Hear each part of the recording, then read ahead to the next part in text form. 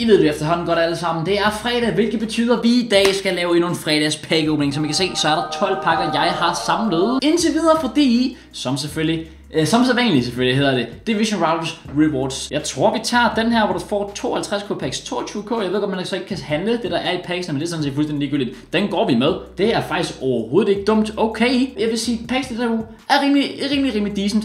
Øhm, ikke så meget at komme efter her. Masser af lækre pakker vel imellem, som igen jeg bare har samlet løbet af ugen, inklusive den her 85 plus, hvilket bliver utrolig spændende. Så jeg tænker sgu egentlig ikke, der er så meget for, end vi selvfølgelig bare skal hoppe ud i pakkerne. Og som altid, så er det sådan lidt svært lige, lige præcis, hvad man skal starte ud med, men øh, lad os tage den her to sjældne guldspillere mellem 75 og 83. Ja, det, altså, Wow, okay, vi får et bort hvis øh, det, det der er altid noget. Er det jo Felix? Det, det, det, det er jo faktisk over, overraskende godt, taget betragtning af, at vi vidderligt ikke kan få højere. Det, ja, ved du hvad? Please ikke sige, at jeg har mit låst i. Okay. Det, det, det, det, det er fint nok. Det, det er fint nok. Det er fint nok. Okay, vi tager den næste stjernespillerpakke blandet. 12 kort i alt det. Den her, hvor der er sådan 4 guld, 4 sølv, 4 bronze. Så det er sjældent noget helt stort, og det er det, det, er det heller ikke rigtigt her. Øhm, det er Higuain simpelthen. Higuain, ja. Jeg, jeg har engang nogle sjove joke at lave. Øh, altså, jeg, jeg er faktisk bare trigger, hver gang jeg kommer frem på min skærm. Som Chelsea-fan, så, så gør det under sig se Higuain. Alright, Electrum Premium spillerpakke, som sagt den sidste sådan lidt agtig trash pack, og vi ser også, hvorfor at den var det her. Hvad er det her? Det er Ben Chilwell, det er Ben Chilwell, vi får. Oh my god, Ben Chilwell. Please, please, kom snart tilbage fra din skade. Jeg, jeg, jeg, jeg kan ikke klare at se på Alonso mere. Jeg, det kan jeg ikke. Okay, det der også er spændende ved de her pakker, igen, det er det her med, at vi har en garanteret plus i dem. Og den, de laveste vi har, det er de her to af premium spiller guldpakker, som i sig selv er rimelig decent packs. Der er vi garanteret minimum en 80 plus i dem begge. En af dem er, øh, hvad hedder det, untradable, og det er den her, hvor vi får en lille cheeky Alexandro er det. Ja, det er Alexandro, som jeg vildt jeg smed ham ind i en af de her SPC'er for at lave, lave den der 83 plus. Så ja, det er bare lige jeg lige siger ja. Ham, ham, ham, ham får du skulle lige igen, Kraus. Jamen, det er fint nok. Jamen, øh, mange tak. Okay, den næste premium spiller pakke. Indtil videre er han vel egentlig det bedste, vi har pakket. Alexandro sammen med selvfølgelig Joao Felix, som så var i en pakke, hvor jeg ikke kunne få højere end 83 plus. Og her får vi heller ikke noget, der er i nærheden af at være højere end 3. Okay, det er så en 82 rated Mario Finance, men, men, men stadigvæk, stadigvæk. Nu kan vi se. Øh, Shen guldpakker. 81 plus. Okay. Vi tager dem. Vi går med dem. Og i den første af dem, ikke et board, eller jo, det er et board, sorry, ikke en walkout. Er det, øh, det er simpelthen Angelino. Jeg, jeg føler, jeg har fået... Jeg, er det bare mig? Please, ned i kommentarfeltet, der må I simpelthen lige skrive. Er det bare mig, eller har, jeg, eller har I også bare pakket Angelino sådan 40 gange i år. Altså det er sådan, jeg føler, han er en af de der kort, man sådan... Man begynder lidt at sådan automatisk at hade, når du ser ham for absolut no reason. Altså det er lidt synd for ham, men altså, han, pakker, han popper bare frem i pace hver gang, jeg sådan lidt... Kunne du ikke... Kunne, det kunne, altså, du kunne vel egentlig godt lade være. Du kunne godt lade være. Det var bare, bare en lille idé. Nej, okay. Det er fint nok. Vi tager den næste premium spiller guldpakke endnu en gang. Og den her gang får vi et board igen.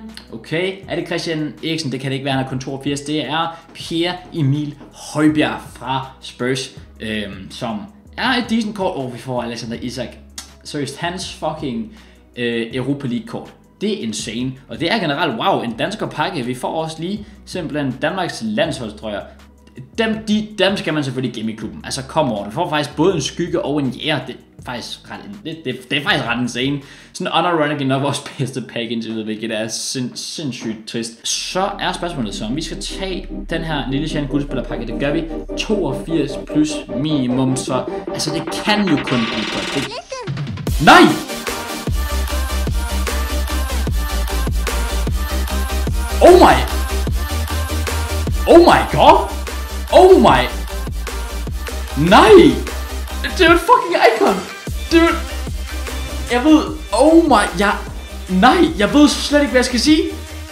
Uden pis. Det der er det første icon, jeg nogensinde har pakket. I alle FIFA ever. Der har været Legends siden FIFA 14. FIFA 14 pakker ikke noget 15, 16, der spillede jeg så heller ikke. Der var det kun på Xbox, kan man sige dengang. Men stadigvæk, selv siden det er kommet til Playstation, som var været i 2017, 18, jeg ved det ikke engang. Dude, jeg har aldrig pakket et icon før, så fucking pakker et icon her. Oh my god. Altså, jeg ved, jeg ved godt, altså, du kigger på ham, det er Veron. Det, han, han, det er jo ikke ligefrem det bedste icon. Men altså, lige... Jesus Christ, der ligger sådan lige en Insigne og Cheetah, så har... Det er sindssygt pack, det der. Sind... What the fuck, sindssygt pack? Okay, skal vi lige se, hvad han går for. Bro, han går legit alligevel for sådan 100k plus right. Altså 105k er han listet til. Lad, lad os sige minimum 100k. Jeg ved godt, det ikke er insane. Altså jeg ved ikke engang rigtig, hvad der er af gode icons og pack, men... Altså jeg var sådan, det der kort kom frem med sådan lidt... Hvad fanden er det for et kort? Jeg har aldrig, aldrig set det der kort før. Det er et fucking icon. Wow. Også da man, da man så ser det i Argentina, tænker man, wow, det kan blive rigtig godt det her, og så hvor var det måske det værste fra Argentina. Og jeg ved ikke engang, hvordan kan man se, om det er hans baby, eller hvad fanden det er. Jeg går ud fra, at det ikke er hans, jeg går ud fra, at det er hans left rated icon. Men bro, prøv lige her, jeg er fucking ligeglad, mand. Det er mit første icon, der er pakket. Altså, jeg er så hype. Og mest af alt bare fordi, så har jeg faktisk noget, jeg kan spille i titlen på den her video. Men altså, sådan legit uden pis, det er faktisk vildt, det der. Altså, Altså, jeg ved, altså, er det, er det, jeg ved ikke, om det er bare mig, der, der overhyper det fuldstændig. Jeg er sådan oprigtigt, sådan virkelig op at køre det der. Det, det er vildt. Fucking insane, det der. Jesus, man, jeg elsker det. Og vi har stadigvæk bare fire pakker endnu liggende. Det kan noget, det der. Vi har simpelthen nu tre 50 code packs. Alle tre er dog untradable, og det er den her 85 plus også. Men lad os da bare tage dem alligevel. Garanteret en 83 plus, så vi er garanteret bort board ligegyldigt hvad. Det bliver svært at toppe et icon. Og vi prøver alligevel. Vi prøver alligevel. Vi får en lille cheeky. Hvem er det? Det må være Toku Ekambi, okay? Det er ikke vanvittigt, men det er heller ikke, det er heller ikke skidt. Det er bestemt heller ikke skidt. Det var også en, den, det var en decent pack. Det var en decent pack. Så det er faktisk to rimelig, rimelig decent streg. Okay, okay. Lad os hoppe ud i den næste. Stadigvæk. Kører det godt. Den her gang får vi, de, vi får kun en 3 fish rated. Okay. Det er simpelthen, øh, eller 4 fish rated måske. Nej, okay, det er 3 fish rated. Lukas Radetski. Ja, yeah, okay. Vi tager den aller sidste pack, øh, før vi så har den her garanteret 85 plus, som jeg glæder mig meget til at åbne. Lad os se, hvad I har gemt til os i posen i den her 50k pack. Og vi tager endnu et turné...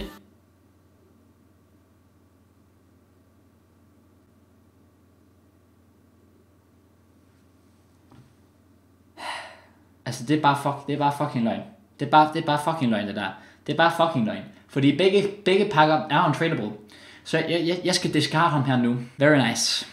Very nice. Fantastisk. Der ligger en lille cheeky Fikir. Der er faktisk nogle ret decent højt rated kort her i. Det kan noget. Kai har også sendt vi på transferlisten før, så vi kan sende ham her til klubben. Det passer mig faktisk helt fint også. Kan vide, hvad han egentlig går for. Det er nok ikke det, sådan, det er helt okay. Det er, det er fint nok. Det er ikke det helt store. Det har selvfølgelig været noget, der sådan har været sådan 50k eller sådan noget. Så er der sådan lidt, ah, men det her, det, det, det kan jeg godt lige overleve, selvom det er stadigvæk stadig lidt nederen. At jeg så lige pakker den samme turnering, altså, altså det, altså turneringsholdspiller, det, altså, ja, ja, det er jo også øh, lidt uheldigt. Bare en lille smule. Garanteret 85 plus. Altså, come on. Hvis jeg får en fucking 85 plus her, så tilter jeg. Men mindre det ikke er mere god nede, om der er nogen god pack. Anyways, lad os se, hvad er gennem til os. Come on, EA. Ikke skubbe os den her gang.